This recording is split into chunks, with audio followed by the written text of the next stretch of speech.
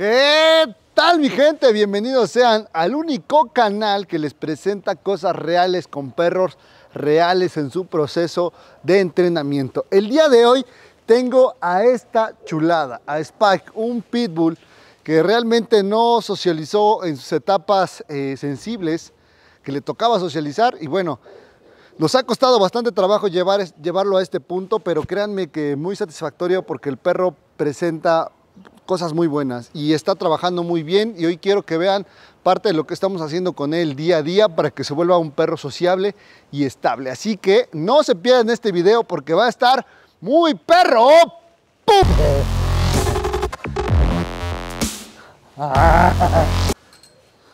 Vamos a meter de dos en dos para que vayamos viendo el comportamiento de este muchacho y de esa forma vayamos trabajando con él. ¿Sale otros dos?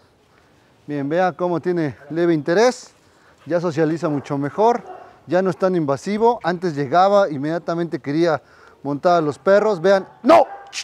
Ese gesto todavía le cuesta trabajo, pero es bien importante empezar a corregir todo eso porque esos son los problemas eh, o las señas que desatarían un problema. Vean el lenguaje de Magno, la piloerección. ¡No! Corregimos, se desestresan.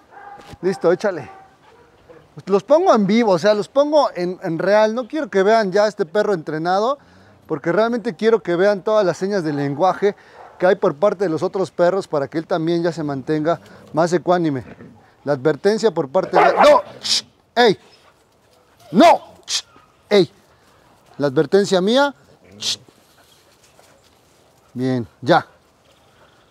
Tranquilo. Sale. Esto es difícil, ¿eh? porque esta parte de la atención de los otros perros es difícil empezar a controlarla, pero vean cómo ya se mide mejor ante diferentes estímulos. Ahora, los perros que tengo son estables y tienen bastante aguante, pero realmente el problema es que estos perros son muy invasivos y cuando encuentran un perro de la misma calidad que ellos, entonces tienen problemas. Bien, es bien importante nosotros acercarse al perro para nosotros poderle meter un alto. Los demás perros se sienten incómodos porque volvemos al mismo, es muy invasivo, pero cada vez que yo me acerco y que me ve cerca, entonces el perro decide ya no molestar o no estar de intenso, que eso es bien importante. Y poco a poco el perro se va a ir relajando al punto de ya no buscar problemas. Que al final es lo que buscamos, ¿eh? que este perro se regule al punto de que ya no necesite estar de buscón o, o pleitero con otros perros. Al inicio era muy difícil porque este perro no tenía ningún lenguaje, igual que, que Enzo, que también viene a una rehabilitación similar. Eh, ya los dos están muy bien y ya pueden convivir. Metimos perros casi todos son machos. En este caso tenemos dos, cuatro, seis machos y una hembra. Leona, nos faltó Leona, pero vean, es convivencia con machos, boxers, border collie y un gran danés para ver cómo se comportaba con perros de una altura más grande. En este caso todavía no metemos perros pequeños porque desgraciadamente yo no tengo perros pequeños que sean tan estables y para evitar cualquier accidente eh, de gravedad evitamos meterlos en este punto. Pero vean cómo se empieza a comportar y también él empieza a demostrar otro tipo de señales. Vuelvo a repetir, cada vez que pasa esta parte, no. Yo me acerco, corrijo, ¡ey! Insisto, porque a veces hay que insistir con estos perros. Recuerden que estos perros son altamente resistentes y tienen un, umbral muy alto, el cual debemos alcanzar. Por eso es que estos perros no son para cualquier persona.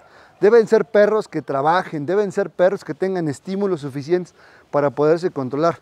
De lo contrario, en la primera pelea estos perros suelen salir victoriosos o el umbral es tan alto que se quedan con esa espinita y la próxima vez que salen a convivir van a tener un problema similar con otros perros. Así que bien, bien eh, cuidadosos debemos ser con estos perros para que puedan socializar de manera correcta. La idea es presentarles eso, perros reales, en situaciones reales, con perros también eh, hasta cierto punto estables y de esa forma trabajar en base a, a, lo que nos presenta, irlo corrigiendo. No corté nada del video más que cuando se me voltea la cámara, pero buscando que ustedes vean cómo se realiza un proceso y después de forma controlada hasta que el perro pueda hacerlo completamente solo. ¿Necesita la guía? Claro que la necesita, es un perro que apenas está haciendo, eh, está socializando con otros perros, por eso es importante que estemos detrás de él, atentos a lo que pueda pasar y posteriormente le vamos a ir dando más confianza hasta que ya no cometa errores, se dedique a jugar, socialice y vea las cosas de otra forma. Que el perro entienda que hay otra forma de socializar y no todo es pelear. En este caso Spike, al parecer nunca ha peleado, pero no estamos buscando que lo haga estamos buscando que tenga las señales apropiadas, que se dirija de forma amable y cuidadosa con otros perros y que también lo respete para que así algún día él también pueda interactuar en una comunidad grande y poco a poco lo vaya haciendo mejor. Espero que les haya gustado este video. Créanme que le echamos muchas ganas a esto para que funcione con la única intención de que ustedes vean cómo se realiza un trabajo de manera real y, con perros que tienen problemas reales. No quiero presentarles solamente perros entrenados que ustedes digan, ah, ya está entrenado, ya no funciona. No, la idea es que ustedes lo vean en real, lo puedan emular y también se puedan llevar algo valioso de todo esto. Les pido que me apoyen, se suscriban, le den like y compartan este contenido para que más gente pueda conocer parte de nuestro trabajo. Les dejo estas imágenes, estas bellas imágenes de estos perros socializando y nos vemos el siguiente video. Bye.